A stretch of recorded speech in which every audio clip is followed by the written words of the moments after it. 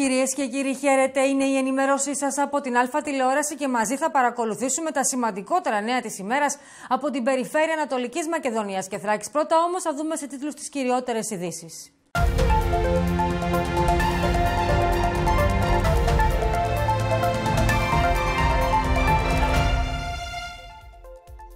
Αρνητική η Δήμαρχη Βορείου Εύρου για την δημιουργία ξεχωριστής περιφερειακής ενότητας.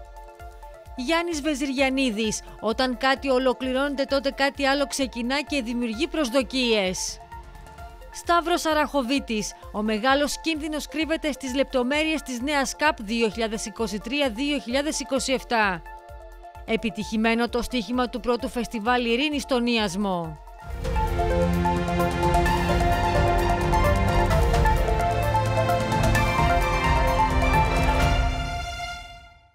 Άκεροι και εσφαλμένοι στον τρόπο κρίνουν την πρωτοβουλία δημιουργίας Περιφερειακής Ενότητας Βορείου Εύρου οι δήμαρχοι Ορεστιάδας, Δημοτήχου και Σουφλίου, Μαυρίδης, Χατζηγιάνογλου και Καλακίκος, που τοποθετήθηκαν με δηλώσεις τους στην ΕΡΤ Ορεστιάδα, σχολιάζοντας τις ερευνητικές επαφές που γίνονται τελευταίο διάστημα για τη συγκεκριμένη διεκδίκηση. Και οι τρεις, ωστόσο, αναγνώρισαν ότι τα προβλήματα που αντιμετωπίζουν ο Βόρειος και Κεντρικός Εύρος διωγγώνονται καθημερινά και προκαλούν πολύ σοβαρό προβληματισμό στις τοπικές κοινωνίες. Άκεροι και εσφαλμένοι στον τρόπο κρίνουν την πρωτοβουλία δημιουργίας Περιφερειακής Ενότητας Βορείου Εύρου οι δήμαρχοι Ορεστιάδα, Δημοτήχου και Σουφλίου, Βασίλης Μαυρίδης, Ρωμίλο Χατζηγιάνογλου και Παναγιώτης Καλαγίκος, που τοποθετήθηκαν με δηλώσεις τους στην ΕΡΤ Ορεστιάδα, σχολιάζοντας τις διερευνητικές επαφές που γίνονται τελευταίο διάστημα για τη συγκεκριμένη διεκδίκηση. Και οι τρεις, ωστόσο, αναγνώρισαν ότι τα προβλήματα που αντιμετωπίζουν ο Βόρειος και Κεντρικός Εύρος διωγγώνονται καθημερινά και προκαλούν πολύ σοβαρό προβληματισμό στις τοπικές κοινωνίες. Είναι θετική εξέλιξη οποιαδήποτε διεκδίκηση φορέων, πόσο μάλλον όταν η βάση των ετοιμάτων κινείται προς τη σωστή κατεύθυνση. Όμως, αυτή τη χρονική στιγμή, με τις συνθήκες που υπάρχουν, η δημιουργία μιας χωριστής περιφερειακής ενότητας δεν θα βοηθήσει σχολίασε μεταξύ άλλων ο Δήμαρχος Ορεστιάδας, υπογραμμίζοντας ότι θα πρέπει να υπάρξει ένας κοινός αγώνας διεκδίκησης για την περιοχή. Ο ίδιος δήλωσε ότι θα είναι παρόν εφόσον προσκληθεί σε κάποια συνάντηση, τόσο για να εκθέσει τις απόψεις του, όσο και για να ακούσει την επιχειρηματολογία των φορέων είναι θετική εξέλιξη η οποιαδήποτε διεκδίκηση φορέων. Πόσο μάλιστα όταν τα αιτήματα, η βάση των αιτημάτων κινείται προς τη σωστή κατεύθυνση. Θα ήταν ιδανικό να υπάρχει μια περιφερειακή ενότητα που να είναι πλήρως τελεχωμένη. Το πρόβλημα όμως σε αυτήν τη χρονική στιγμή κυρίως είναι η αποψήλωση των υπηρεσιών. Εγώ θέλω όλοι μαζί να ενώσουμε τις δυνάμεις μας για να συνεχίσουμε τον αγώνα της ενίσχυσης των υπηρεσιών και των δομών που υπάρχουν στην περιοχή μας έτσι ώστε να μπορέσουμε να λειτουργήσουμε καλύτερα. Η δημιουργία χωριστής περιφερειακής ενότητας μέσα στον ίδιο τον νομό αυτήν τη χρονική στιγμή με τις συνθήκες που υπάρχουν και αυτό, αυτήν την απομόνωση που βλέπουμε να συνεχίζεται να γίνεται στο Βόρειο Εύρο δεν θα βοηθήσει ο αγώνας πρέπει να είναι κοινός για να διεκδικήσουμε πολλά περισσότερα για την περιοχή μας. Ο τρόπος με τον οποίο ξεκίνησε η πρωτοβουλία αυτή και αυτοί οι οποίοι την ξεκίνησαν, νομίζω ότι είναι αναρμόδιοι, τουλάχιστον για να κάνουν την αρχή, δήλωσε από την πλευρά του ο Δήμαρχος Δημοτήχου Ρωμίλο Χατζηγιάνογλου, εκφράζοντας παράλληλα την άποψη ότι μια τέτοια κίνηση θα έπρεπε να ξεκινήσει πρώτα από τους αρμόδιους φορείς της τοπικής αυτοδιοίκησης, ώστε να συζητηθούν οι ανάγκες και οι προποθέσει και ύστερα, αν όντως υπάρξει συμφωνία για μια τέτοια διεκδίκηση, να ζητηθεί από τους πολίτες και τους φορείς να πιέσουν προς αυτή την κατεύθυνση. Ο κ. Χατζηγιάνογλου έθεσε εμφατικά μάλιστα και το ερώτημα ποιος είναι εκείνος που θα κρίνει πού χωρίζει ο Εύρος, ενώ εξέφρασε την άποψη ότι στην παρούσα φάση καίγεται ένα χαρτί που πιθανόν θα ήταν χρήσιμο στο μέλλον, εάν ποτέ υπήρχε πιθανότητα συμφωνημένης διεκδίκησης νέας περιφερειακής ενότητας. Ο κ. Χατζηγιάνογλου δήλωσε ότι αν προσκληθεί να παραστεί σε κάποια διερευνητική συνάντηση, θα δώσει το παρόν. Δεν υπάρχει κανένας λόγος να αρνηθώ. Από την άλλη μεριά, βέβαια, δεν ξέρω κατά πόσο θα ήταν ωφέλιμο να ερχόμαστε σε δεύτερο χρόνο και να ρωτάμε αυτούς που ήταν αρμόδιοι για ένα τέτοιο θέμα, ανέφερε χαρακτηριστικά, λέγοντας παράλληλα πως βλέπει δύσκολο να έχει επιτυχία η προσπάθεια που έχει ξεκινήσει. Η αλήθεια είναι ότι εδώ και πολλά χρόνια κατά καιρούς ψιθυρίζεται το ότι ίσως ήταν καλύτερα ο Εύρος να χωριστεί στα δύο από τη στιγμή που υπάρχουν και κάποιες ε, υπηρεσίες της διπλούν όπως νοσοκομείο, μεραρχία, μητρόπολη ή άλλες υπηρεσίες.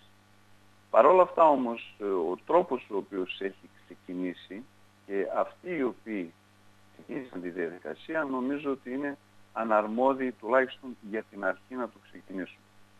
Ε, δεν γνωρίζω τώρα με ποια ιδιότητα η κυρία Μεμετζή ε, έχει ξεκινήσει όλο αυτό το θέμα. Είναι θεμητό βέβαια και θετικό το μέσα από συζητήσεις θα βγουν οι αποφάσεις, αλλά παρόλα αυτά νομίζω ότι θα έπρεπε να ξεκινήσει πρώτα από τους αρμοδίους φορείς όπως είναι η περιφέρεια ή οι δήμαρχοι της τοπικής αυτοδιοίκησης, ώστε να συζητηθούν οι ανάγκες, να συζητηθούν οι προϋποθέσεις και ύστερα αν κατά κάποιον τρόπο όντως συμφωνούμε να προχωρήσουμε σε αυτό να, και σε περίπτωση που μας αρνηθεί το κράτος σε κάτι τέτοιο να μπορούμε να φέρουμε από κάτω και τον κόσμο να πιέσει προς αυτή την κατεύθυνση. Και εκτός αυτού βέβαια έχουμε και κάποια θέματα όπως το ποιος κρίνει που χωρίζει ο Εύρος. Πού ακριβώς είναι ο Βόρειος, πού ακριβώς είναι ο Νότιος. Διότι αν ξεκινάμε μόνο ως φορείς της Ορεστιάδος και μετά συζητάμε με τους φορείς του Δημοτήχου και το σταματάμε εκεί, δεν ξέρω ποιος είναι αυτός που θα αποφασίσει να είναι απ' έξω ο Δήμος του Σουφλίου. Είναι κάποια ερωτήματα τα οποία σίγουρα θα μας χρειαστούν για τη συνέχεια για να είμαστε δυνατοί σε αυτό που προσπαθούμε να πετύχουμε. Και εκτός αυτού, αν αύριο μεθαύριο δεν επιτύχει αυτό, γιατί από την ώρα που ξεκινάει κάτι, θα κρυθεί και το αποτέλεσμα. Δεν επιτύχει. Και ύστερα από 10 χρόνια, πείτε ότι έχουμε τις προϋποθέσεις τελικά να διεκδικήσουμε μια καινούργια περιφερειακή ανόητα Εύρω. Λογικά και δίκαια το κράτος δεν θα μας επαναφέρει την προηγούμενη προσπάθεια, τη σημερινή δηλαδή, και θα μας λέει ότι τότε που το προσπαθήσατε δεν το πετύχατε. Τώρα τι προσπαθείτε να επαναλάβετε; Μόνο προβληματισμό μου αφήνει αυτή η πρωτοβουλία. Αυτή τη στιγμή, βεβαίως, σαν σουφλί δεν έχουμε καμία πρόταση. Δεν ξέρουμε ποιοι το διοργανώνουν όλο αυτό, τι ακριβώς θέλουν, πώς το στοιχειοθετούν και βέβαια δεν έχουν απευθυνθεί στο Δήμο και στα θεσμικά του όργανα, ήταν το πρώτο σχόλιο του Δημάρχου Σουφλίου. Ο κύριος Καλακίκος δεν έκρυψε ότι όντως υπάρχει ανησυχία και προβληματισμός για τα προβλήματα που υπάρχουν στην περιοχή. Υπογράμμισε ως κύρια ζητήματα την υποστελέχωση των υπηρεσιών και τη δημογραφική κατάρρευση και δήλωσε ότι αυτά είναι που θα πρέπει να συζητηθούν σοβαρά και όχι το αν θα πάμε βόρεια ή νότια. Ο ίδιος ανέφερε πως δεν είναι επίκαιρη μια συζήτηση δημιουργίας δύο περιφερειακών ενωτήτων, ενώ δεικτικά τόνισε πως ανάμεσα στα βόρεια και νότια υπάρχει και το κέντρο, η καρδιά του Εύρου, που είναι το Σουφλί. Με την έννοια αυτή, γιατί να μην μιλάμε και για μια κεντρική περιφερειακή ενότητα. Ο Δήμαρχος Σουφλίου απέρριψε τέλος το δίλημα Βόρειοι και Νότιοι, ενώ εκτίμησε πως μια τέτοια συζήτηση θα δοκιμάσει και την διαδημοτική συνεργασία που ξεκίνησαν οι Δήμοι Ορεστιάδας, Δημοτήχου και Σουφλίου. Καταλήγοντας, δήλωσε ότι είναι υπέρ του διαλόγου, αρκεί να ξέρουμε για το τι συζητάμε και τι θέλουμε θέλουμε. Μόνο προβληματισμό μου αφήνει. Αυτή τη στιγμή βεβαίως σαν σοφλή δεν έχουμε κάποια πρόταση να δούμε ποιοι είναι αυτοί που το διοργανώνουν, τι ακριβώς θέλουν, πώς το στοιχειοθετούν και δεν έχουν απευθυνθεί βέβαια στο Δήμο και στα θεσμικά όργανα γιατί οποιαδήποτε θέση πέρα από προσωπική του Διπάρχου θα πρέπει να είναι εξωσοδετημένος και από τα θεσμικά του όργανα από, τους, ε, από το Δημοτικό Συμβούλιο ενώ αυτή τη στιγμή στο Σουφλί δεν υπάρχει τέτοια πρόταση και δεν υπάρχει τέτοια συζήτηση. Βεβαίως όμως υπάρχει μεγάλη ανησυχία, μεγάλος προβληματισμός για τα προβλήματα που υπάρχουν στην περιοχή. Ξέρετε ότι η υποστελέχωση των υπηρεσιών όχι μόνο βεβαίως το Σοφλή, αλλά και το Δημοτήχο το ίδιο, στο ίδιο βαθμό, σε λιγότερο βαθμό και Ρωσιάδα, μας προβληματίζει πάρα πολύ.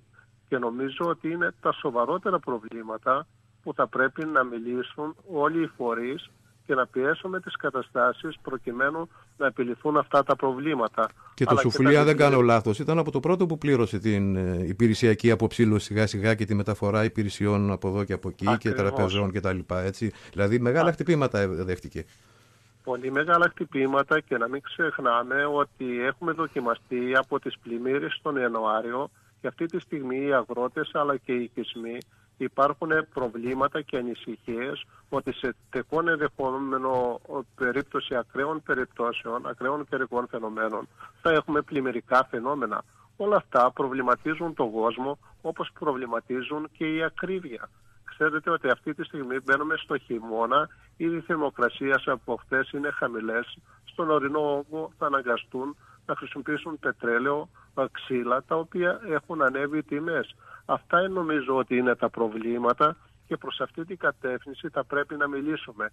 Να μιλήσουμε όμως ότι όλοι οι Δήμοι εδώ των περιοχών είναι τόσο μεγάλη σε έκταση. Να σκεφτείτε ότι το Σοφλί είναι δυόμιση φορές μεγαλύτερο από την Κέρκυρα. Είναι μεγαλύτερο από το νομό Πρέβησας. Πού να πάμε εμείς, στο βόρειο, στο νότιο; Και επιτέλους αυτό το δίλημα, βόρειοι και νότιοι, θα πρέπει να σταματήσει. Θα πρέπει να σταματήσει και να δούμε ότι υπάρχει και ένα κέντρο. Και το κέντρο είναι το Σοφλί και έχουμε μεγάλο δημογραφικό πρόβλημα. Αυτοί οι κύριοι που ξεκίνησαν έκαναν έρευνα, αναζήτησαν το δημογραφικό πρόβλημα του τριγώνου που πραγματικά με λύπη και με μεγάλο προβληματισμό έχουν εγγραφεί 28 άτομα σε πρωτοβάθμια και δευτεροβάθμια εκπαίδευση Παραμένουμε στο ίδιο ζήτημα, κυρίες και κύριοι. Πριν από λίγο ακούσαμε και τους και τους τρεις δημάρχου του Βορείου Εύρου και τον κύριο Μαυρίδη και τον κύριο Χατζηγιάνογλου και τον κύριο Καρακίκο να σχολιάζουν τις τελευταίες αυτές εξελίξεις. Τώρα, σύμπνοια επί των βασικών σημείων της πρότασης για σύσταση ξεχωριστής περιφερειακής ενότητας Βορείου Εύρου διαπιστώθηκε στην δεύτερη διερευνητική συνάντηση που προκάλεσε η πρωτοβουλία για τη διεκδίκηση της διοικητικής διαίρεσης του νομού πριν από λίγες ημέρες, συγκεκριμένα την προηγούμενη εβδομάδα. Η συνάντηση έγινε στην Ορεστιάδα με τη συμμετοχή εκπροσώπων 14 φορέων της Ορεστιάδας και του Δημοτήχου που ανταποκρίθηκαν στο κάλεσμα και κατέθεσαν τις απόψεις αλλά και τις θέσεις τους, αναγνωρίζοντας στο σύνολό τους ότι το αίτημα είναι δίκαιο και θα συνέβαλε στην αναστροφή της αναπτυξιακής κατάρρευσης και της απομόνωσης που παρουσιάζει το βόρειο τμήμα του νομού. Μαζί μας τώρα τηλεφωνικά βρίσκεται ο πρόεδρος του Εμπορικού Συλλόγου του Δημοτήχου, ο κύριος ε, Παπακοσταντίνου, ο οποίος ε, συμμετείχε στην δεύτερη αυτή αναγνωριστική ε, συνάντηση που έγινε στην Ορεστιάδα και με πολύ χαρά και ενδιαφέρον θα τον ακούσουμε αμέσως τώρα. Κύριε Πρόεδρε, καλησπέρα σας. Καλησπέρα σας. Σας ευχαριστώ πολύ που σήμερα είσαστε κοντά μας και περιμένω από εσάς να ακούσω με πολύ ενδιαφέρον πώς εσείς προσωπικά την δική σας εκτίμηση κύριε Πρόεδρε ε, αναζητούμε. Εκτιμάτε όλα αυτά που συμβαίνουν τις τελευταίες ημέρες για την ίδρυση μιας νέας περιφερειακής ενότητας Βορείου Εύρου. Καταρχήν σας ευχαριστώ για τη φιλοξενία. Εκεί που ήμασταν σύμφωνοι όλοι στην Οριστιάδα ήταν στο γεγονός ότι υπάρχει ένα τεράστιο πρόβλημα στο βόρειο άκρο του νομού. Ε, απόλυτα σύμφωνοι είμαστε ότι όπως είναι η κατάσταση δεν φαίνεται να δίνει λύσεις στα προβλήματα και στην απογύμνωση του Βόρειου Εύρου. Επομένως, αφού καταλήξαμε ότι συμφωνούμε στα προβλήματα, ότι συμφωνούμε στις διαπιστώσεις ε, υπήρξε η πρόταση για να δημιουργηθεί μια νέα περιφερειακή ενότητα που θα αφορά το βόρειο κομμάτι του νομού.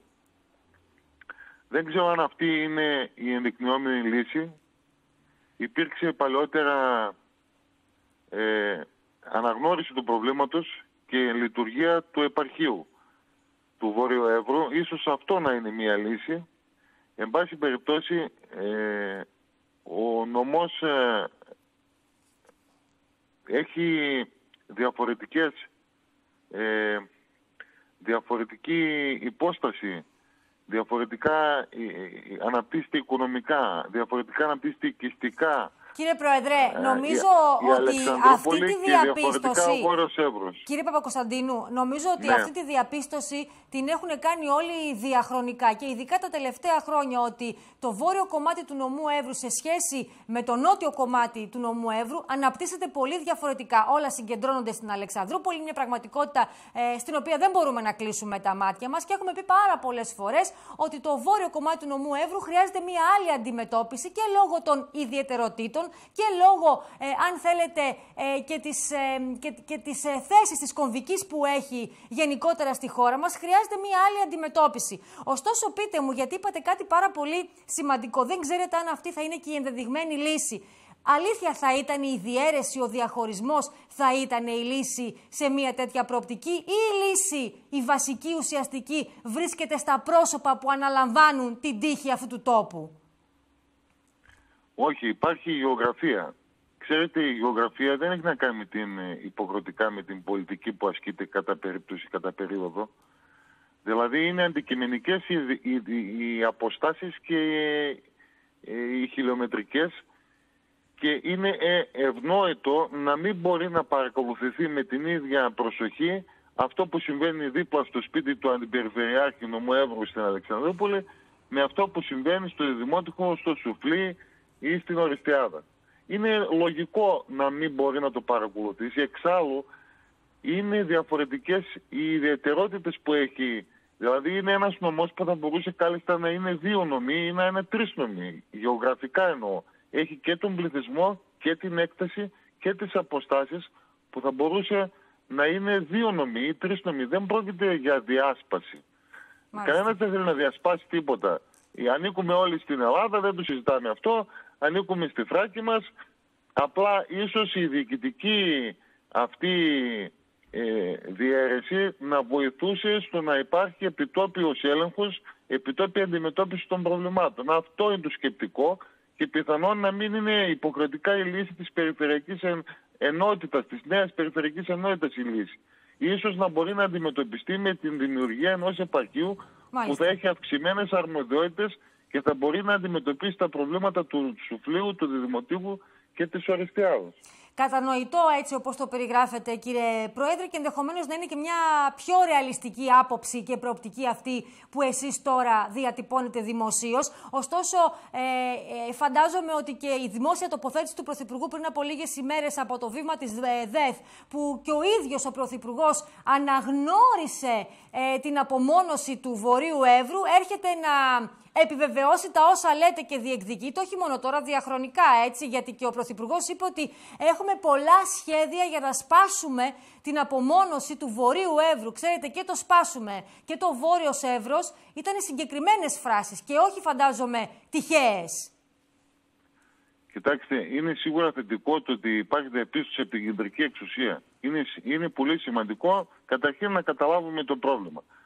Από εκεί και μετά όμως έχουμε αργήσει πάρα πολύ και μέχρι να κινηθεί το, το ελληνικό κράτος ε, θετικά προς τα προβλήματά μας ε, φοβάμαι ότι δεν θα καταλήξουμε όλοι μαζί ε, στην, ε, στην σωστή λύση και εξέλιξη της υπόθεσης. Θέλω να πω ότι ήδη αποψηλώνεται ο νομός Εύρων στο βόρειο κομμάτι του από κατοίκους από επένδυση γίνεται, δηλαδή εγκαταλείπεται από, από επιχειρήσεις, ε, εγκαταλείπεται από νέους ιδιαίτερα. Οι προσπάθειες που γίνονται για τη θωράκιση της άμυνας της περιοχής, ε, δημιουργώντας ένα ανάχωμα στην επέλαση των ε, λαθρο ε, μεταναστών ή στα προβλήματα που ε, ασκεί η επιθετική Τουρκία, είναι σταγόνα στον ωκεανό. Όταν μια περιοχή δεν ε, μπορεί να βγάλει τα προστοζήν και εγκαταλείπεται από επενδύσεις, από κατοίκους, από νέους, λυπάμαι, αλλά μέχρι να κινηθεί το ελληνικό κράτος θα είναι πολύ αργά. Θα έχουμε μείνει τόσο λίγοι που δεν θα έχει πλέον νόημα. Κύριε Πρόεδρε, να σας ρωτήσω τώρα κάτι. Σε αυτές τις δύο συναντήσεις που έγιναν, το γεγονός ότι δεν ε, προσεκλήθησαν οι, οι δήμαρχοι, ε, ο κύριος Χατζηγιάννογλου, ο κύριος Μαυρίδης και ο κύριος ε, Καλακίκος, ε, θεωρείτε ότι δεν θα έπρεπε να έχει αυτό συμβεί; Δηλαδή, άμα δεν υπάρχουν οι άνθρωποι που εκπροσωπούν επίσημα τον θεσμικό φορέα του Δημαρχιακού Θόκου, ε, μήπως, λέω, η απουσία τους δεν συμβάλλει θετικά προς μια τέτοια έτσι διεκδίκηση; Δεν θα έπρεπε να είναι παρόντες; Ωραία, ίσως, να, ίσως θα έπρεπε να είναι ήδη έτοιμα της τοπικής αυτοδιοίκησης. Και αυτό δεν έχει γίνει. Παρόλα αυτά, το θέμα αφορά την τοπική αυτοδιοίκηση σε όποιο βαθμό και να την αφορά. Άρα η δική μου γνώμη είναι ότι δεν μπορούμε να αποκλείσουμε κανέναν, ιδιαίτερα τους εκλεγμένους από το λαό του Βορείου Εύρου άρχοντες της τοπικής αυτοδιοίκησης. Και εγώ είμαι δημοτικός σύμβουλος και δεν μπορώ να παρίσταμαι με μία ιδιότητα και να απορρίπτω την άλλη. Εγώ πιστεύω ότι το, το πρόβλημα, το όποιο πρόβλημα και να έχουμε ε, στο, στο Διδημότικο ή στην Οριστιάδα ή στο Σουφλί θα πρέπει να λύνεται με ομοψυχία, με σεβασμό προς ε, τις όποιες θεσμικές εξουσίες και από κοινού να προσπαθήσουμε να βρούμε μία λύση. Μάλιστα. Δεν περισσεύει κανένας και ε, ένα άλλο κύριε Μπασκάκη που θέλω να αναφέρω είμαι πεπισμένος ότι είναι προς το συμφέρον της Αλεξανδρούπολης να αναπτυχθεί ισόνομα, ισότιμα και το βόρειο κομμάτι ε, Βέβαια, φτάνει αυτή η υδροκέφαλη Αλεξανδρούπολη να αναπτύσσεται με αυτόν τον τρόπο. Έχετε δίκιο, κύριε Πρόεδρε, σε αυτό. Έτσι. Όχι, είναι προς το συμφέρον της και είναι προς την κατεύθυνση που επιδιώκει και η Αλεξανδρούπολη και το δικαίωμα που έχει προς την ανάπτυξη. Μάλιστα. Ο Βόρειος Εύρος, αν οικονομικά γίνει εύρωστος, ο πρώτος που θα βοηθηθεί και θα ευνοηθεί από αυτή την κατάσταση θα είναι το νότιο κομμάτι του νομού που είναι ε, η κατάληξη ας πούμε όλης της οικονομίας του νομού. Ξεκάθαρο. Λοιπόν, εγώ κρατώ τα όσα μας είπατε απόψε, κύριε Πρόεδρε, μετά και από αυτές τις δύο αναγνωριστικές συναντήσεις που έγιναν ε, με φορείς της ε, περιοχής του Βορείου Εύρου. Πραγματικά σας ευχαριστώ θερμά, κύριε Παπακοσαντίνου, για αυτή μας την ε, συνομιλία. Καλή συνέχεια. Παρακολουθούμε την εξέλιξη όπως και να έχει. Ευχαριστώ πάρα πολύ για τη φιλοξενία. Να είστε καλά. Αλλάζουμε τώρα θεματολογία. Η τουριστική σεζόν μπορεί να μην έχει ολοκληρωθεί ακόμα για την περιφέρεια Ανατολικής Μακεδονίας και Θράκης, αλλά ο Αντιπεριφερειάρχης Τουρισμού, ο κ. Τσόνης, ε, συγκάλεσε πριν από λίγες ημέρες στην κομμωτινή σύσκεψη με υπηρεσιακούς παράγοντες για τον απολογισμό της φετινής και τον προγραμματισμό φυσικά της επόμενης χρονιάς. Ο κ. Τσόνης εξέφρασε την ικανοποίησή του με τα δεδομένα που έχει μέχρι στιγμής η περιφέρεια σε σχέση με το πώς κινήθηκε ο τουρισμός στην περιφέρειά μας. Την ικανοποίησή του εξέφρασε για τη φετινή τουριστική σεζόν στην περιφέρεια Ανατολικής Μακεδονίας και Θράκης, μιλώντας στο ράδιοχρόνο της Κομωτινής και στον Δήμο Μπακυρτζάκη, ο Αντιπεριφερειάρχης Τουρισμού, ο κ. Αθανάσιος Τσόνης. Η συνεντεύξη δόθηκε στον απόϊχο σύσκεψης που συγκάλεσε ο Αντιπεριφερειάρχης, παρουσία υπηρεσιακών παραγόντων με αντικείμενο τον απολογισμό της φετινής τουριστικής χρονιάς και το συντονισμό δράσεων για την προβολή της περιφέρειας για την επόμενη. Στο κλείσιμο της ερηνής τουριστικής σεζόν, που παρά τις δυσκολίες εξελίχθηκε πολύ ικανοποιητικά, ανασυντάσσουμε τις δυνάμεις μας και προετοιμάζουμε το πρόγραμμα για το 2020, δήλωσε στον απόϊχο της σύσκεψης. Αναπτύσσοντας το συλλογισμό του για τη φετινή χρονιά, είπε πως ολοκληρώθηκε μία σεζόν η οποία είχε πολλές προκλήσεις. Ήταν εύκολο κάποιοι να υψώνουν το δάχτυλο όσο εμείς δουλεύαμε για το ασφαλές άνοιγμα των συνόρων, τη σωστή υγειονομική διαχείριση και τη συνεργασία με τον ΕΟΤ και το Υπουργείο Τουρισμού. Στάθηκε ιδιαίτερα στο ότι φέτος κατάφερε να λειτουργήσει το συνεργό σημείο διέλευσης νυφαία με ελέγχους στο ΕΟΔΗ απρόσκοπτα με εξαίρεση την παλινοδία στις αρχές του καλοκαιριού. Προτεραιότητά μας ήταν η διαχείριση της υγειονομικής κρίσης να παραμείνουμε ή αν θέλετε να καταγραφούμε ως ασφαλής προορισμός για να κεφαλοποιήσουμε αυτή την εικόνα την επόμενη χρονιά, που ουσιαστικά είναι ή τουλάχιστον ελπίζουμε να είναι απαλλαγμένη από τη μάστιγα του COVID, δήλωσε στο ράδιο Χρόνος. Ολοκληρώθηκε μια σεζόν ε, η οποία είχε, όπως και εσείς ε, παρακολουθήσατε και ήμασταν κοντά όλο αυτό το διάστημα, πολλές προκλήσεις. Ε, ήταν εύκολο κάποιοι να υψώνουν το δάχτυλο όσο εμείς δουλεύαμε και εργαζόμασταν ε, για το ασφαλές άνοιγμα των ε, συνόρων, ε, τη σωστή υγειονομική διαχείριση και τη συνεργασία με τον ΝΕΟΤ ε, τόσο στα κεντρικά όσο και τα γραφεία ε, εξωτερικού, όπως φυσικά και με το Υπουργείο.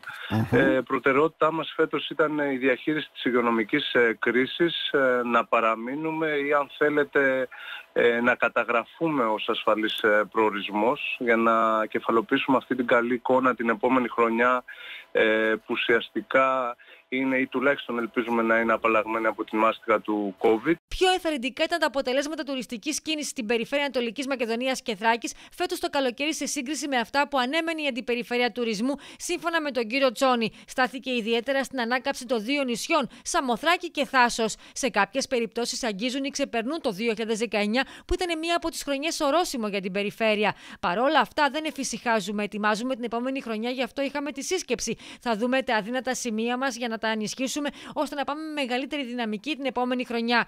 Επενδύσαμε σε ψηφιακές προβολές σε συνεργασία πάντα με τους επαγγελματίες. Τα δύο μας νησιά πήγαν πολύ καλά. Η Σαμοθράκη ξεπέρασε τα νούμερα του 2019. Ήταν μία από τις καλύτερες χρονιές εδώ και 31 χρόνια. Η Θάσος πήγε πολύ καλά. Συλλέγουμε νούμερα και έχουμε ξεπεράσει το 70% του 2019. Το παράκτιο μέτωπο επίσης πήγε καλά. Αλλά δεν μένουμε μόνο σε αυτό, γιατί βλέπουμε εισάξια όλες τις περιοχές της περιφέρειάς μας. Το τουριστικό προϊόν το αντιμετωπίζουμε σφαιρικά και πολύπλευρα, είπε ο κύριος Τσόνης. Βεβαίως είναι πιο ενθαρρυντικά.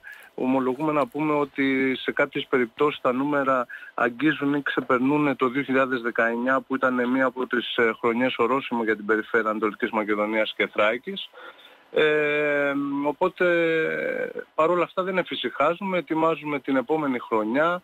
Όπως σωστά είπατε είχαμε προχθές σύσκεψη με όλους τους υπηρεσιακούς παράγοντες ε, για να κάνουμε μια έναν απολογισμό της χρονιάς που πέρασε, να δούμε τα αδύνατά μας σημεία, να τα ενισχύσουμε, έτσι ώστε να πάμε με μεγαλύτερη δυναμική για την επόμενη χρονιά. Γενικότερα τα δύο νησιά μας πήγανε πολύ καλά και η Σαμοθράκη, η οποία Σαμοθράκη ξεπέρασε τα νούμερα του 2019. Ήταν μια από τις καλύτερες χρονιές εδώ και 31 χρόνια. Η Θάσος πήγε πολύ καλά, από ό,τι τώρα συλλέγουμε νούμερα έχουμε ξεπεράσει το 70% του 2019 ε, αλλά ακόμα δεν έχουμε σαφή ναι, ναι. εικόνα γιατί όπως καταλαβαίνετε τώρα παίρνουμε τα αποτελέσματα. Ε, το παράκτη όλο μέτωπο πήγε καλά. Τώρα θα αλλάξουμε εντελώς θέμα και κλίμα, κυρίες και κύριοι, και μάλιστα θα κάνουμε μία συζήτηση στην, στον απόϊχο της πρόσφατης επίσκεψης του Υπουργού Αγροτικής Ανάπτυξης, του κυρίου Λιβανού, στην περιοχή του Εύρου. Διότι θα σας υπενθυμίσω ότι ο κύριος ε, Λιβανός, κάνοντας ε, δηλώσεις και αφού είχε συναντήσει τους ε, παραγωγικούς φορείς, είχε πει ότι είναι οραματική και με νέα διάσταση η νέα κοινή αγροτική πολιτική. Μάλιστα, ο κύριος Λιβανός είχε επισημάνει χαρακτηριστικά ότι η νέα ΚΑ πρακτικά θα είναι η ζωή όλων των παραγωγών της Ευρώπης, άρα και των Ελλήνων παραγωγών για τα επόμενα 10 χρόνια. Για να δούμε όμως τώρα τι λέει και η αντιπολίτευση. Στην αντίθετη άποψη θα σταθούμε ε, στην απόψηνή μας ε, συζήτηση, διότι έχουμε τη χαρά να φιλοξενούμε με τη βοήθεια της τεχνολογίας τον πρώην Υπουργό Αγροτικής ε, Ανάπτυξης και το Μεάρχη Αγροτικής Ανάπτυξης ε, στον ε, ΣΥΡΙΖΑ, τον κύριο Σταύρο Αραχοβίτη. Θα τον δούμε αμέσως τώρα, θα τον καλησπερίσουμε, θα τον ευχαριστήσουμε που είναι απόψε κοντά μας για να κάνουμε μια πολύ ενδιαφέρουσα συζήτηση. Κύριε Υπουργέ, καλησπέρα σας. Καλησπέρα σας, καλησπέρα σε εσάς και στους τηλεθεατές σας και σας ευχαριστώ πάρα πολύ για την πρόσκληση. Ε, το κανάλι σας είναι πάντα φιλόξενο και είναι ανοιχτό στις απόψεις και σας ευχαριστούμε ξεχωριστά γι' αυτό. Και η αλήθεια είναι, κύριε Υπουργέ, οφείλω να το πω αυτό δημόσια, ότι και εσείς ποτέ δεν αρνηθήκατε να δώσετε εξηγήσεις, ακόμα και όταν ήσασταν υπουργός, σε δύσκολα ζητήματα που αφορούσαν την περιοχή του Εύρου και της Τράκη γενικότερα. Λοιπόν, πάμε τώρα στο διατάφτα, στη νέα ΚΑΠ, που γίνεται πολλή συζήτηση. Εσείς ε, προσφάτως είπατε σε δηλώσεις σας ότι ο μεγάλος κίνδυνος κρύβεται στις λεπτομέρειες της νέας ΚΑΠ. Τι εννοούσατε με αυτό κύριε Υπουργέ; Πριν πάμε λοιπόν στις λεπτομέρειες να δούμε το μεγάλο κάδρο αν μου επιτρέπετε. Ε, η κοινή αγροτική πολιτική πάντα διαχρονικά ήταν ένα χρηματοδοτικό εργαλείο που ταυτόχρονα έδινε μια πολιτική κατεύθυνση. Ε, δηλαδή, σου έδινε χρήματα, δύο δις περίπου εισρωές το χρόνο, αλλά ταυτόχρονα καθόριζε και πού θα πάνε τα πράγματα στη γεωργία τα επόμενα χρόνια μέσα στο πλαίσιο κάθε κοινής αγροτικής πολιτικής. Η καινούργια αγροτική πολιτική την οποία συζητάμε τώρα και θα εφαρμοστεί μετά το 2023 για 7 χρόνια με εισρωές γύρω στα 19 εκατομμύρια ευρώ ε, έχει μια σαφή πολιτική αλλαγή, μια στόχευση. Είναι περισσότερο φιλοπεριβαλλοντική. Αυτό καταρχήν είναι καλό, θα έλεγε κανένας. Δεδομένου ότι η κλιματική αλλαγή, η κλιματική κρίση ε, είναι το μεγάλο πρόβλημα της ελληνικής γεωργίας αυτή την ώρα, αυτό καταρχήν είναι καλό. Πάμε όμως αυτό που είπατε πολύ σωστά, επισημάνατε στις ε, δηλώσεις μου, ότι ο διάβολος κρύβεται στις λεπτομέρειες. Οι απαιτήσεις από την ελληνική γεωργία προκειμένου να πάρει τα χρήματα που α, δίνει σαν χρηματοδοτικό εργαλείο η ΚΑΠ πρέπει να είναι τέτοιες που να μην καταστρέψουν την ελληνική γεωργία αφενός, αφετέρου να είναι προσαρμοσμένα στις ιδιαιτερότητες και στις ανάγκες, στις ιδιαιτερότητες από τη μία και στις ανάγκες από την άλλη, της ελληνικής πραγματικότητας. Η ΚΑΠ δίνει μια κατεύθυνση. Το πώς θα κινηθείς σε αυτή την κατεύθυνση είναι ε, ζήτημα της ελληνικής πολιτείας και κυρίως του Ελληνικού Υπουργείου ε, Αγροτικής Ανάπτυξης. Γι' αυτό εχθές τη συζήτηση που είχαμε στην, ε, στη Βουλή για την ακρίβεια, παρόντος παριστάμενο του, του Υπουργού του κ. Λιβάνου, είχαμε έναν, ε, αν θέλετε, έτσι λίγο έντονο διάλογο σχετικά με τον τρόπο που γίνεται η διαβούλευση για την ΕΑΚΑΠ. Του επισήμανα, με, με κατηγόρησε στα ΣΥΡΙΖΑ ότι δεν είμαστε παρόντες αυτές τις τις ε, συζητήσεις. Και του επισήμανα ότι με τον τρόπο που γίνονται αυτές τι συζητήσεις είναι δυστυχώς φιέστε δεν είναι ουσιαστική συζήτηση ούτε με την αντιπολίτευση, ούτε πολύ περισσότερο, και αυτό έχει σημασία, με τους παραγωγούς. Γιατί ξέρετε κάτι, η, η υλοποίηση, η κοινή αγροτική πολιτική με τα 7 χρόνια που τρέχει, στην 2 της προετοιμασίας, 3 της προετοιμασίας, ξεπερνάει τη θητεία μιας κυβέρνησης. Πόσο μάλλον που από ό,τι φαίνεται θα έχουμε και πρόορες εκλογές, οπότε θα αλλάξει η κυβέρνηση ε, σχετικά γρήγορα ελπίζουμε ξεπερνάει την κυβερνητική θητεία. Άρα η επόμενη κυβέρνηση που θα έρθει να την εφαρμόσει θα πρέπει να έχει συμμετάσχει στη διαμόρφωσή της. Δείτε τι έγινε το 2014. Κύριε Υπουργέ, ναι. είναι θετικό όμως εκείνο το στοιχείο που λέει και η πλευρά του Υπουργού της κυβέρνησης ότι καταφέραμε ως χώρα να διατηρήσουμε το ίδιο ποσό με την προηγούμενη προγραμματική περίοδο, ενώ άλλες χώρες ε, απόλεσαν, έχασαν κατά τι ένα ποσό; Ε, κοιτάξτε, αυτό είναι βέβαια σε απόλυτες τιμές, γιατί αν βάλουμε τον πληθωρισμό που υπάρχει, τη διαφορά των τιμών ε, στη χώρα, ε, οι απώλειες είναι, είναι υπαρκτές. Αλλά ας μην πάμε σε αυτό, ας μείνουμε στο ότι δεν είχαμε μεγάλες απώλειες, εν πάση περιπτώσει, διατηρήσαμε τα χρήματα. Σαφώς ε, και είναι ε, ε, ε, αυτονόητο, θα έλεγα. Αυτό ήδη είχε ξεκινήσει, να σας θυμίσω, ότι η συζήτηση για την ΚΑΠ στην Ευρώπη δεν ξεκίνησε χθες. Ακριβώς. Γίνεται από το 18. Άρα οι ισορροπίες, οι συμμαχίες, οι, ε, οι διαβουλεύσεις είναι διαχρονική ε, ε, επιδίωξη της ελληνικής κυβέρνησης του ελληνικού Υπουργείου και προς τιμή της σημερινής πολιτικής ηγεσίας και της προηγούμενης, του κ. Βορύδη, συνέχισαν τη διαπραγματευτική γραμμή που είχαμε ξεκινήσει εμείς και έφερε αυτά τα αποτελέσματα. Κύριε Υπουργέ, να σας ρωτήσω κάτι, γιατί εσείς είστε γνώστης του συγκεκριμένου αντικειμένου, ενώ γενικότερα της υπαίθρου και του, πρωτογενής, ε, του πρωτογενή τομέα. Ε, και ξέροντας και τα ιδιαίτερα χαρακτηριστικά που έχει η Θράκη, δεν αναφέρομαι σε όλη την περιφέρειά μας, απομονώνω τη Θράκη. Ε, για άλλους λόγους που κατανοείτε. Θέλω λοιπόν να μου πείτε, αυτή η νέα ΚΑΠ πραγματικά ουσιαστικά μπορεί να βοηθήσει τον παραγωγό της Θράκης, τον κτηνοτρόφο της Θράκης, τον αλλιέα της Θράκης. Μπορεί να τον βοηθήσει; Σωστά. Ε, γι' αυτό σας λέω, εκεί είναι η λεπτομέρεια.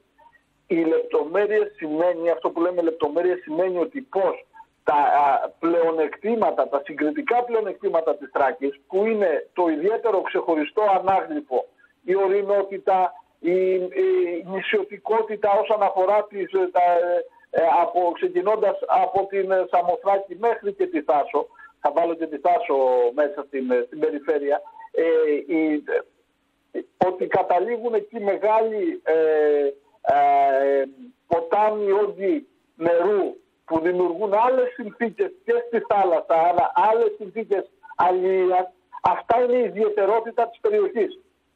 Αυτές τις ιδιαιτερότητες οφείλει κάποιος να τις κάνει πλεονεκτήματα. Έχετε γεωθερμικό πεδίο. Υπάρχουν πολλά πλεονεκτήματα στην περιοχή. Δυστυχώς Μέχρι τώρα όλα αυτά δεν έχουν αναδειχθεί. Ένα άλλο φοβερό πλεονέκτημα της περιοχής είναι ότι είναι κοντά στα σύνορα με την Ευρώπη. Είναι πιο, από τις πιο κοντινές περιοχές με την Ευρώπη. Άρα είναι μια πύλη και εισόδου και εξόδου.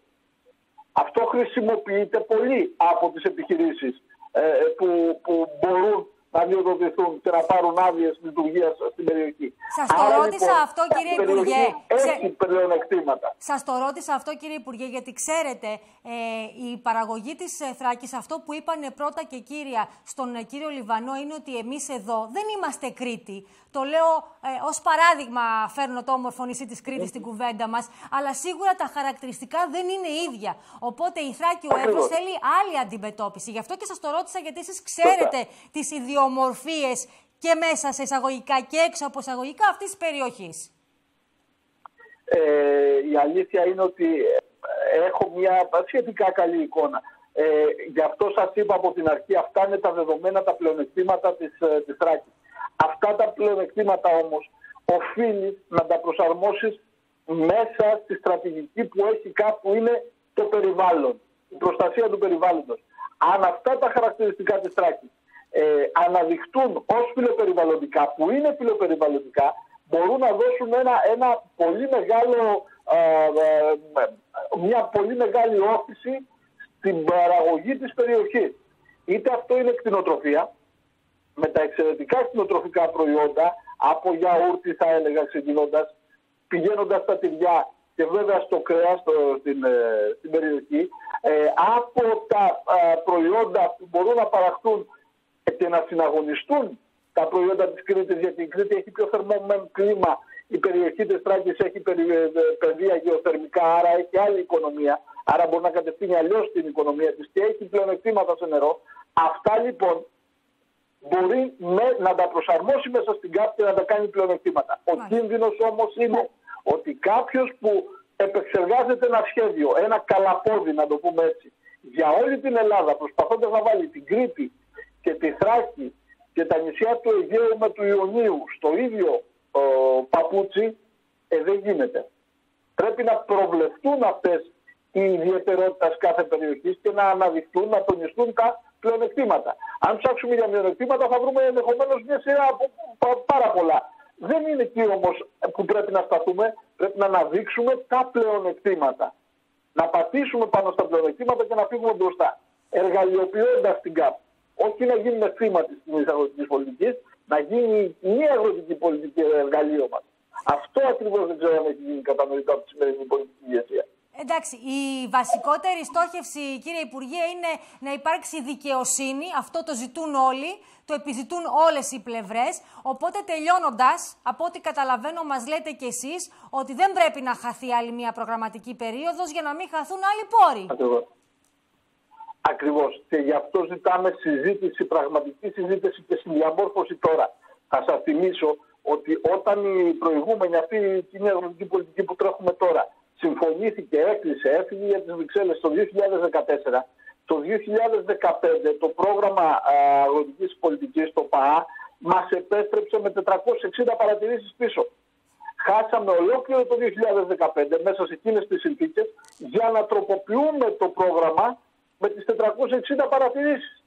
Ε, δεν πρέπει να ξαναγίνει αυτό τώρα. Δεν μπορούμε να ξαναχάσουμε ένα χρόνο ε, ο ένας, ξυλώνοντας ο άλλος. Γι' αυτό ζητάμε από την αρχή να υπάρχει συνδιαμόρφωση. Μάλιστα. Κύριε Ραχοβίτη, κύριε Υπουργέ, πραγματικά σας ευχαριστώ θερμότατα για την απόψινή μας συνομιλία. Καλή συνέχεια να έχετε. Καλό σας βράδυ. Εγώ σας ευχαριστώ για τη φιλοξενία. Να είστε καλά. Χαιρετισμού σε όλους. Και καλό κουράγιο σε αυτό το δύσκολο χειμώνα που από ό,τι φαίνεται έχουμε Δυστυχώς. Σας ευχαριστώ θερμά κύριε Ραχοβίτη. Να είστε καλά την απόφασή του να μην διεκδικήσει εκ νέου για τρίτη φορά την εκλογή του στη θέση του Προέδρου της ε, οργάνωσης, συγκεκριμένα στις ισοκομματικές εκλογές της 24 Οκτωβρίου, ανακοίνωσε σε συνέντευξη τύπου που έδωσε ο Πρόεδρος της Διοικούσα Επιτροπής ε, της Εκλογικής Περιφέρειας Ροδόπης της Νέας Δημοκρατίας, ο κ. Βεζιριανίδης. Στην δήλωση του, ο κ. Βεζιριανίδης απίθυνε τις ευχαρισίε του προς τα στελέχη της Νέας Δημοκρατίας στη Ροδόπη, με τα οποία, όπως είπε, συνεργάστηκε ε, όχι μόνο τα τελευταία 5,5 χρόνια ως Πρόεδρος, αλλά από το 2010 που συμμετείχε στα συμβούλια των ΟΔΕ. Στον απολογισμό του ως πρόεδρος της Διοικούσα Επιτροπής της Νέας Δημοκρατίας στη Ροδόπη προχώρησε ο Γιάννης Βεζιριανίδης, κάνοντας γνωστό παράλληλα ότι δεν θα είναι υποψήφιος ξανά στις ισοκομματικές εκλογές που θα πραγματοποιηθούν στις 24 Οκτωβρίου, καθώς θεωρεί, όπως είπε, ότι ολοκλήρωσε την πορεία του στην κομματική οργάνωση και είναι έτοιμος να συνεχίσει διαφορετικά μονοπάτια. Ο κύριος Βεζιριανίδης εκλέχτηκε πρόεδρος το 2016 και το 2018, από όπου και υπηρέτησε την παράταξη. Δύσκολος ο δρόμος αυτόν τον χρόνο με προσπάθεια που πάντα δεν είχε θετικό πρόσημο, όπως είπε χαρακτηριστικά. Όταν κάτι ολοκληρώνεται, τότε κάτι άλλο ξεκινά και δημιουργεί προσδοκίες, ανέφερε ο κ. Βεζιριανίδης, αφήνοντας ερωτηματικά για το πότε θα ανακοινώσει το νέο του πολιτικό βήμα, που ακόμη δεν είναι γνωστό εάν θα είναι σε τοπικό ή περιφερειακό επίπεδο. Αποφάσισα να μην θέσω εκ νέου υποψηφιότητας στις προσεχείς εκλογές που θα διεξαχθούν τον Οκτώβριο, καθώς θεωρώ ότι ολοκλήρωσα την πορεία μου στην κομματική οργάνωση και είμαι έτοιμος να συνεχίσω σε διαφορετικά μονοπάτια. Ολοκληρώνεται μια προσπάθεια στην οποία δεν ήμουν μόνος. Είχα συνοδοιπόρους και συναγωνιστές που εκτιμώ ότι σεβάστηκα και με σεβάστηκαν. Δεν σας κρύβω ότι δεν ήταν μια εύκολη απόφαση.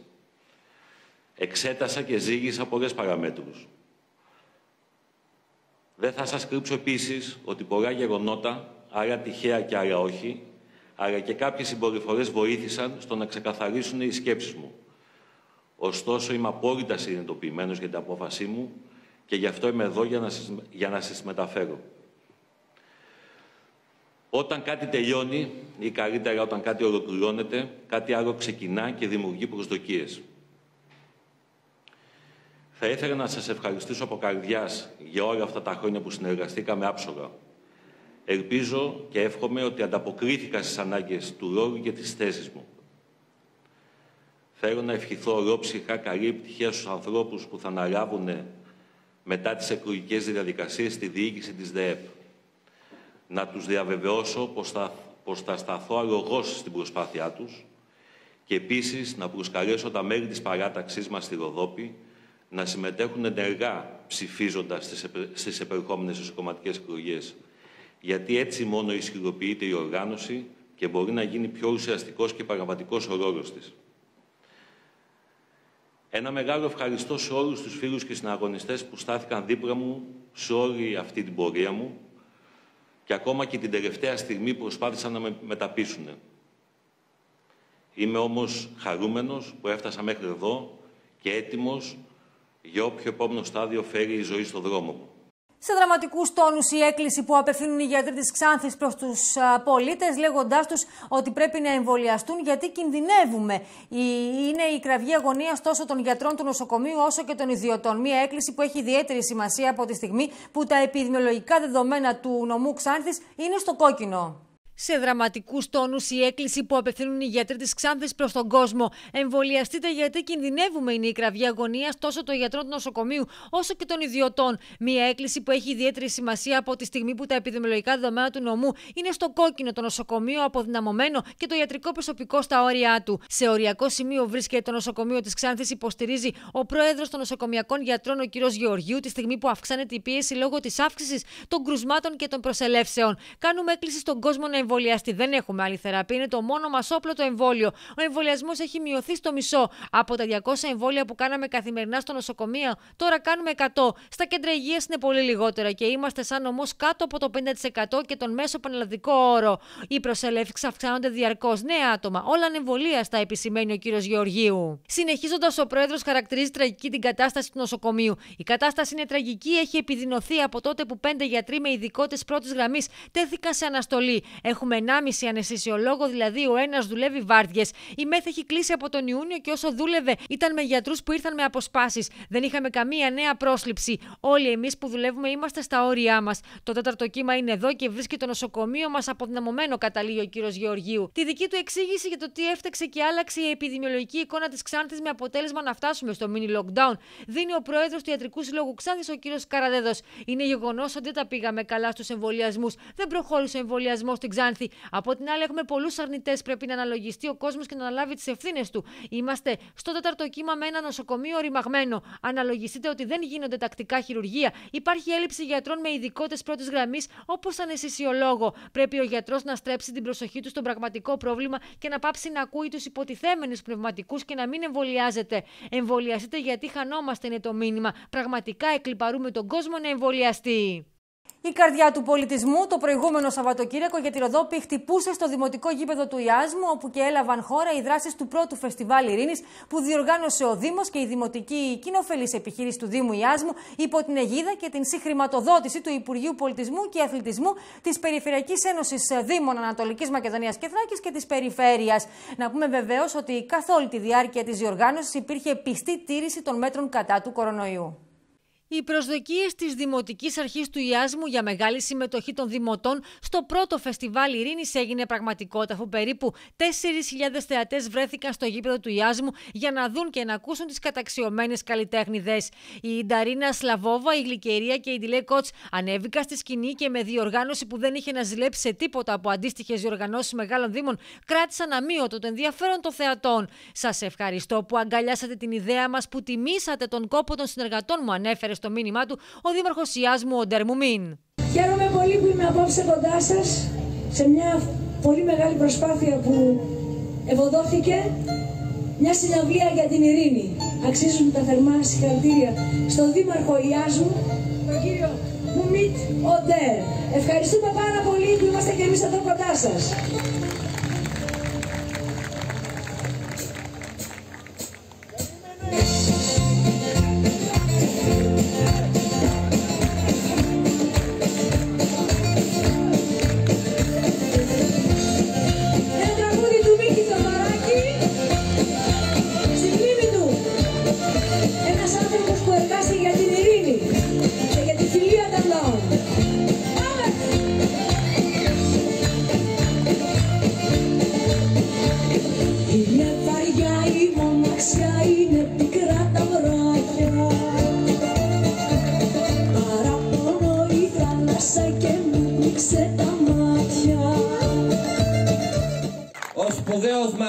Γκάντι είπε δεν υπάρχει δρόμος για την ειρήνη. Η ειρήνη είναι ο δρόμος. Δεν υπάρχει λόγος να μιλήσω. Μιλήσατε όλοι εσείς. η εικόνα μιλάει από μόνη της. Η εικόνα της ενότητας, της ειρήνης, της αλληλεγγύης και της ομοψυχίας. Σας ευχαριστώ που αγκαλιάσατε την ιδέα μας. Σας ευχαριστώ πάρα πολύ που τιμήσατε τον κόπο των συνεργατών μου. Να αγαπάτε την ειρήνη, να μάχεστε για την ειρήνη, να διεκδικείτε την ειρήνη. Σας ευχαριστώ που όλοι μαζί απόψε ενωμένοι καταστήσαμε τον Ιασμό ως το κέντρο της ειρήνης, ως τον τόπο της ειρήνης, ως την πρωτεύουσα της πολυπολιτισμικότητας των Βαλκανίων.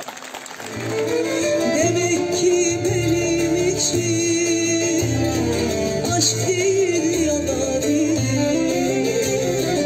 Acırım.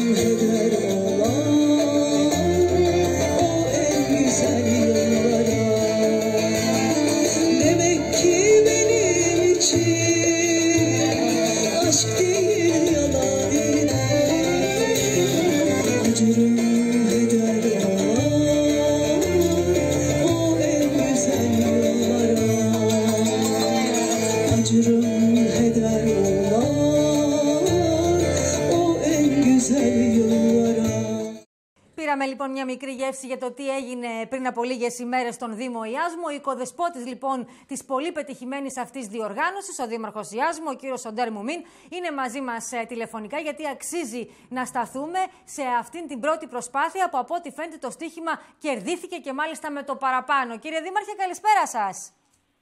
Καλησπέρα σας κύριε Αμπασκάκη. Σας ευχαριστώ πάρα πολύ που με φιλοξενείτε για άλλη μια φορά. Λοιπόν, κύριε Δήμαρχε, νομίζω δικαίως είστε ικανοποιημένος από το πρώτο φεστιβάλ Ειρήνης, γιατί ο στόχος επετεύθη και τα μηνύματα εστάλησαν, έτσι δεν είναι; Η επιτυχία ήταν απόλυτη, κύριε Μπασκάκη. Η, η ανταπόκριση του κόσμου εντυπωσιακή. Απόλυτη Θράκη, τη Ροδόπη, τη Ξάνθη, από την ευρύτερη περιοχή της Θράκης, από τους δημότες του Δήμου Ιάσμου, και να σας ενημερώσω ότι το διήμερο των εκδηλώσεων παρακολούθησαν περίπου 5.700 επισκέπτες. Ενώ σύμφωνα πάλι με επίσημα στοιχεία βάσει των ηλεκτρονικών εισιτηρίων που ελέγχθησαν, στην κορύφωση των εκδηλώσεων τη συναυλία της Γλυκερίας, της Διλέ Κότς και της Νταρίνα από τη Βουλγαρία παρακολούθησαν 4.550 θεατές που γέμισαν ασφυκτικά την Κυριακή το βράδυ το Δημοτικό Γήπεδο Ιάσμο. Εγώ οφείλω να ευχαριστήσω τις σπουδαίες ερμηνεύτριές μας που μας τίμησαν, τα τοπικά συγκροτήματα του Χρήστου Χατζόπουλου και την παρέα του, τα συγκροτήματα Ροδόπια Ανσάμπλ και Μπαλκανανατόλια που έδωσαν την πρώτη βραδιά ένα τοπικό πολυπολιτισμικό χρώμα τέχνης και πολιτισμού. Να ευχαριστήσω για την τρίγλωση παρουσίασης στα ελληνικά, τουρκικά και βουλγάρικα του προγράμματος της κυρίας Νατάσα Βαφιάδου, Πελίν Μποδούρ Μουμίν και Βιολέτα Ιωαννίδου ξεκινώντας. Να ενημερώσω εσάς και όλους όσους μας παρακολουθούν και μας ακούν ότι στα αξιοσημείατα του διημέρου ήταν ότι από τη μεριά μας η, η τήρηση των μέτρων κατά της πανδημίας ήταν πιστή και απαρέγκλητη. Γι' αυτό οφείλουμε, οφείλω να αναγνωρίσω την προσπάθεια των συνεργατών μου, των στενών συνεργατών μου και να τους ευχαριστήσω. Ανταμείψαμε σε αναγνώριση της χορηγικής υποστήριξης των επιχειρήσεων που στήριξαν το φεστιβάλ με μια προβολή σε μεγάλη οθόνη μεγάλων διαστάσεων τους χορηγούς μας. Να ευχαριστήσω κυρίως τον χορηγό αερομεταφορών των καλλιτεχνών την Aegean και να ευχαριστήσω επίσης και όλο το πρωτόκολλο που τίμησε την, τη βραδιά, την Κυριακή το βράδυ, τους βουλευτές Ροδόπης και Ξάνθης Σιλχάν Αχμέτ και Μπουρχάν Μπαράν, την Δήμητρα Σιμεωνίδου, εκπρόσωπο του βουλευτή Ροδόπης Δημήτρη Χαρίτου, τον φίλο καλό Βασίλη Μαυρίδη, Δήμαρχο Ορεστιάδας και Πρόεδρο της ΠΕΔ.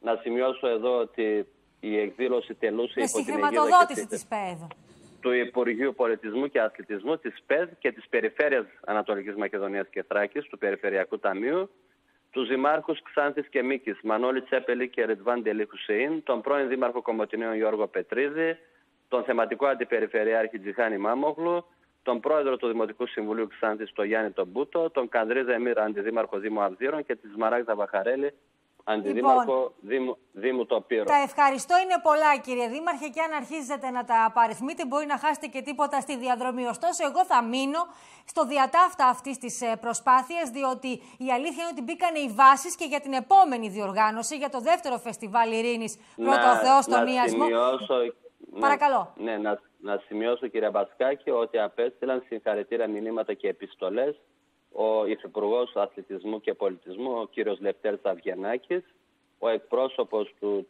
Υπουργείου της Τουρκικής Δημοκρατίας, του Υπουργείου Πολιτισμού και Τουρισμού, ο κύριος Αμπτουλά Χερέν, ο πρέσβης της Τουρκικής Δημοκρατίας στην Αθήνα, ο κύριος Μπουράκο Ζούγεργίν και ο πρόξενος της Βουλγάρικης Δημοκρατίας στη Θεσσαλονίκη, ο κύριος Νικολάη Καραϊβάνοφ. Μάλιστα. Αγκαλιάστηκε αυτή η προσπάθεια, κύριε Δήμαρχε, αναφισβήτητα. Αγκαλιάστηκε.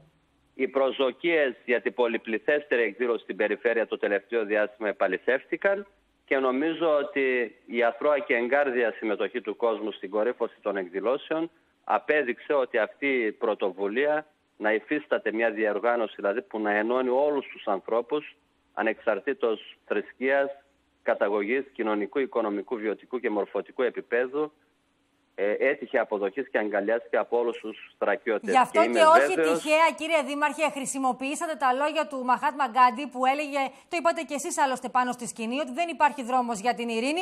Η ειρήνη είναι ο δρόμος.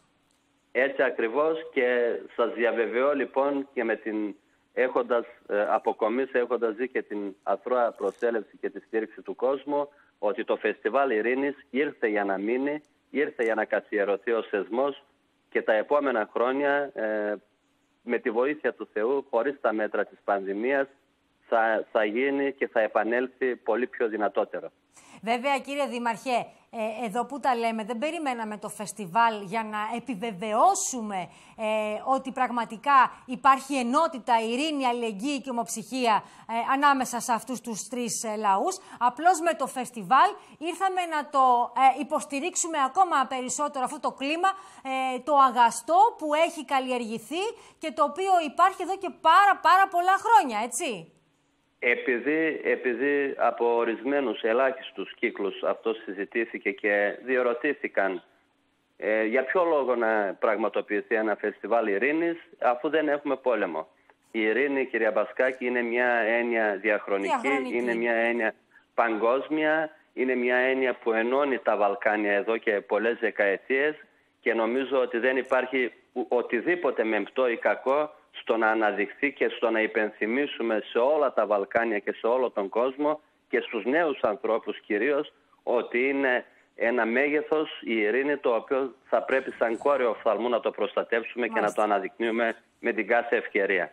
Λοιπόν κύριε Δημαρχέ, και ο, από τα... ο, πολυπολ, ο πολυπολιτισμικός ιασμός ε, ε, από την Κυριακή το βράδυ, τολμώ να το πω, θα είναι για την ευρύτερη περιοχή το κέντρο της ειρήνης, ο τόπος της ειρήνης, η πρωτεύουσα της πολυπολιτισμικότητας των Βαλκανίων για τα επόμενα πολλά χρόνια. Και ένα ωραίο λαμπρό παράδειγμα. Θα πω λοιπόν τελειώνοντας ε, ότι πέρα από το γεγονός πως τα μηνύματα ειστάλησαν και ο στόχος επετεύθη, όλοι όσοι βρέθηκαν, να το πούμε και αυτό κύριε Δημαρχέ, παρά την πανδημία πέρασαν πολύ καλά.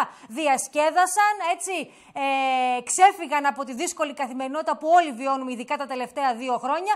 Και ναι, ήταν μια καλή ευκαιρία και να συναντηθείτε και να συναντηθούμε και να τα πούμε και να διασκεδάσουμε και να τραγουδήσουμε.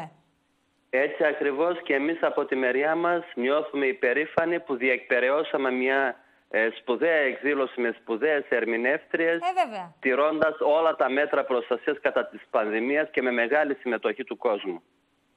Λοιπόν, κύριε Οντέρ Μουμίν, κύριε Δήμαρχε, πραγματικά σας ευχαριστώ θερμά. Καλή επιτυχία θα ευχηθώ και στο επόμενο φεστιβάλ Ειρήνης και εδώ είμαστε για να τα καταγράφουμε όλα. Να είστε καλά κύριε Δήμαρχε, καλό βράδυ. Ευχαριστώ πολύ, να είστε καλά, να είστε καλά σε υπογραφή τριών συμβάσεων για την αντιμετώπιση των προβλημάτων ίδρυυσης της χώρας και αλωνίων της Αμοθράκης προχώρησε ο Δήμος με χρηματοδότηση που εξασφάλισε από το Υπουργείο Ναυτιλίας σε υπογραφή τριών συμβάσεων για την αντιμετώπιση των προβλημάτων ίδρυυση της χώρας και αλωνίων προχώρησε ο Δήμος Αμοθράκης με χρηματοδότηση που εξασφάλισε από το Υπουργείο Ναυτιλίας ύψους 385.000 ευρώ. Η πρώτη σύμβαση αφορά στην ενίσχυση των δικτύων ίδρυυση και την αποκατάσταση ζημιών στις υποδομές υδροδότησης των οικισμών του Δήμου ύψους 270.000 ευρώ με ανάδοχο τον Φράγκο Ιωάννη και πρόκειται να αντιμετωπίσει το θέμα της μειωμένης παροχετευτικότητα, ιδιαίτερα κατά τους ερηνούς μήνες, κατά τους οποίους αυξάνεται και η ζήτηση. Η δεύτερη αφορά στην κατασκευή γεώτρηση στη θέση Σωτήρας, έργο ύψους 55.000 ευρώ με ανάδοχο την Πετρίδου Έλενα και η τρίτη τον εξοπλισμό της γεώτρησης στη θέση Σωτήρα προπολογισμού 47.000 ευρώ με ανάδοχο τον Μιχαλίδη Θεόδωρο. Τα έργα αναμένεται να ξεκινήσουν άμεσα και να έχουν ολοκληρωθεί σε διάστημα από 6 μέχρι 12 μήνες. Ο Δήμαρχος Σαμοθράκης υλοποιεί τη δέσμευσή του να αποκαταστήσει τα προβλήματα υδροδότησης της χώρας και των αλωνίων και εκφράζει την πεποίθησή του ότι το επόμενο καλοκαίρι θα έχει λυθεί ένα σημαντικό θέμα που αφορά στην πληρότητα του δικτύου ίδρυυση των οικισμών αυτών. Επόμενο στόχος θα είναι η αντικατάσταση του δικτύου ίδρυυσης της χώρας για το οποίο ο Δήμος δρομολογεί την εξασφάλιση χρηματοδότησης για την εκπόνηση των μελετών. Ο ΟΠΑΠ, ο μεγαλύτερος υποστηρικτής του ελληνικού αθλητισμού διαχρονικά και η ΠαΕ Παναθηναϊκός συνεχίζουν την χορηγική συνεργασία τους και για την αγωνιστική περίοδο 2021-2022. Για ενδέκατη συνεχή σεζόν, ο ΟΠΑΠ θα βρίσκεται στο πλευρό της ομάδας στην προσπάθειά της για μια επιτυχημένη πορεία στη Super League και το κύπελο Ελλάδος, καθώς και για την επιστροφή της στις ευρωπαϊκές διοργανώσεις. Το Πάμε στοίχημα θα συνεχίσει να είναι ο μέγας χορηγός της ΠαΕ Παναθηναϊκός και το λογότυπο του παιχνιδιού θα προβάλλεται στην επίσημη εμφάνιση της ομάδας. Επιπλέον, η συνεργασία του ΟΠΑΠ με την ΠαΕ Παναθηναϊκός θα εμπλουτιστεί για μία ακόμη χρονιά με δράσεις που προωθούν τις αξίες του αθλητισμού και ενισχύουν την κοινωνική προσφορά. Ο ΟΠΑΠ, ο μεγαλύτερος υποστηρικτής του ελληνικού αθλητισμού διαχρονικά και η ΠαΕ Παναθηναϊκός συνεχίζουν τη χωρική συνεργασία τους και για την αγωνιστική περίοδο 2021-2022.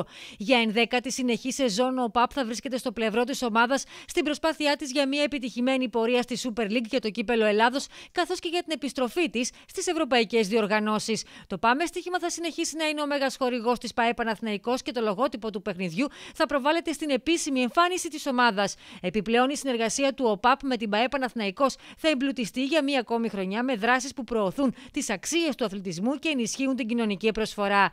Η εκδήλωση για τη συνέχιση της χορηγικής συνεργασίας των δύο πλευρών πραγματοποιήθηκε στην ιστορική έδρα της ομάδας, το γήπεδο Απόστολος Νικολαίδης, παρουσία της διοίκησης του ΟΠΑΠ, της ΠαΕ Παναθηναϊκός και παικτών της ομάδας, καθώς και εκπροσώπων των μέσων μαζικής ενημέρωσης, σηματοδοτώντας την επιστροφή των φιλάθλων στα γήπεδα. Ο Διευθύνων Σύμβουλος του ΟΠΑΠ, Γιάν Κάρας, ανάμεσα σε άλλα τόνισε πως οι φύλαθλοι μπορούν να βρίσκονται ξανά στις κερκίδες, στον ΟΠΑΠ ανυπομονούμε να επανασυνδεθούμε μαζί τους, απολαμβάνοντας τους αγώνες και μοναδικές ψυχαγωγικές εμπειρίες. Άλλωστε, όπως τόνισε, η διασκέδαση των φιλάθλων αποτελεί τη βάση της εξαιρετικής συνεργασίας με τον Παναθναϊκό εδώ και χρόνια.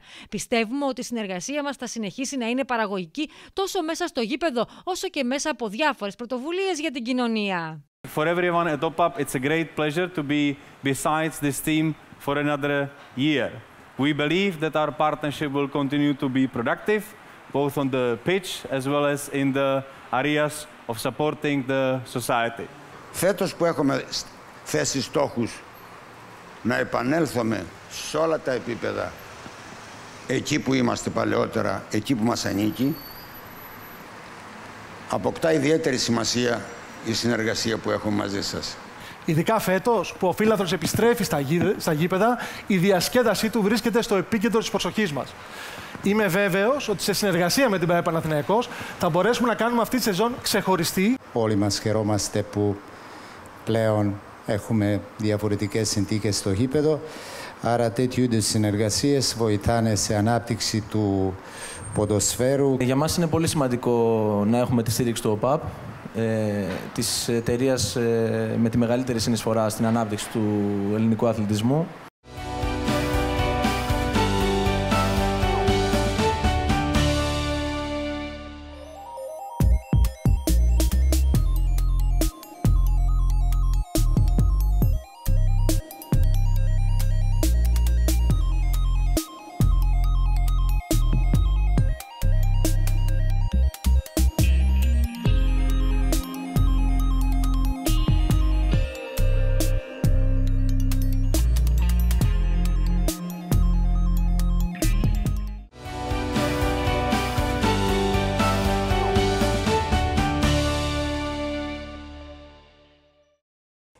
Αυτό, κυρίες και κύριοι, ολοκληρώθηκε η ενημέρωσή σας από την Α τηλεόραση. Σας ευχαριστούμε πολύ που μας παρακολουθήσατε.